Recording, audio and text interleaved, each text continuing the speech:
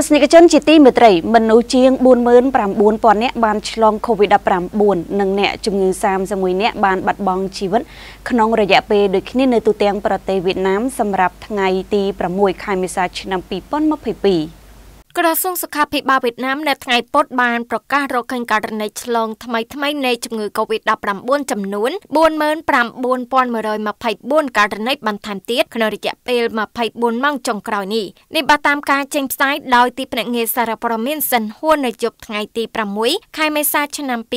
2022រដ្ឋធានីហាណូយដែលបច្ចុប្បន្នកំពុងប្រែក្លាយជាចំណុចកណ្ដាលនៃការផ្ទុះរីករាលដាលជំងឺនេះបានរ៉ាប់រងសម្រាប់ករណីឆ្លងថ្មីថ្ងៃពុធចំនួនพ้น4037ករណីចំណែកខេត្តដែលមានករណីឆ្លងច្រើនដែលនោះគឺរួមមានដូចជាខេត្តញីអានមានចំនួន2302ករណីនិងខេត្តហ្វូថូ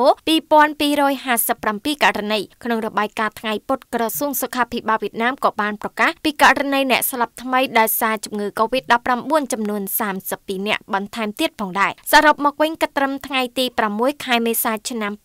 2022វៀតណាមមានករណីឆ្លង Covid-19 សរុបនៅទូទាំងទាំងប្រទេសចំនួន9លាន984,464នាក់ក្នុងនោះអ្នកជំងឺជាសះស្បើយចំនួន8លាន277,5563នាក់ចំណែកអ្នកស្លាប់សរុបនៅត្រឹមចំនួន42,712នាក់